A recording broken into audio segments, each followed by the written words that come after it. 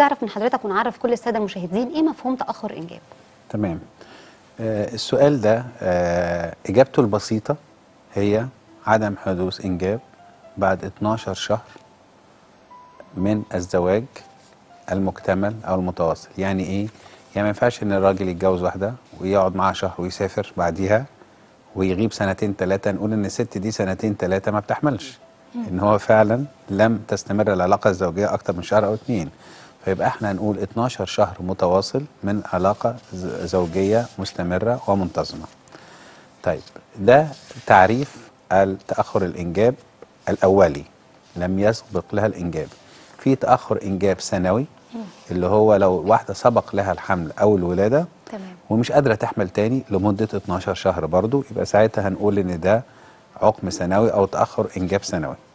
طيب القاعدة ديت بتمشي على معظم الناس ص- صغيري السن ولكن في استثناءات عن ق- قاعدة ال 12 شهر. إيه هي؟ لو في مشكلة ظاهرة من الأول فمش منطقي إن أنا أستنى 12 شهر عشان أبتدي أشخصها. طبعاً. يعني زي دورة غير منتظمة آه مشاكل في العلاقة الزوجية مشاكل مسبقة معروفة للزوج أو الزوجة فيبقى ساعتها ما فيش منطق بيقول إن أنا أستنى 12 شهر وهكذا.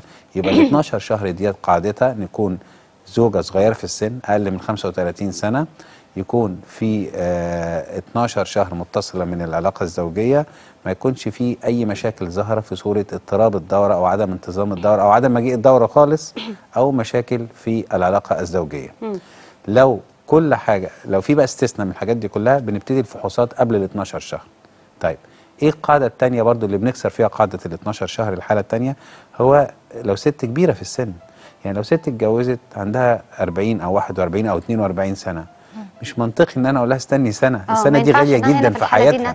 ده الشهر ليه ثمنه في المرحلة ديت. طبعاً. فدي برضو قاعدة عشان كده دي اللي تملي بقولها مفيش قاعدة عامة في الطب تمشيها على كل مريض. لازم كل مريض يتفصل عليه المشكلة بتاعته والاستثناءات. هي مش قاعدة عامة بتمشي عمياني على الكل. زي دكتور العقم الشاطر أنا تملي بشبهه بالترزي اللي بيفصل فستان على حسب كل مريض ليه أو كل زبون ليه. فهي ديت اللي المفروض الاستثناءات اللي إحنا بنستثنى بيها قاعدة ال 12 شهر. مم. تمام. طيب النقطة التانية آه إيه اللي بنعمله بعد ال 12 شهر؟ أو لو واحدة صغيرة 12 شهر ما حملتش أو واحدة كبيرة عندها مشكلة.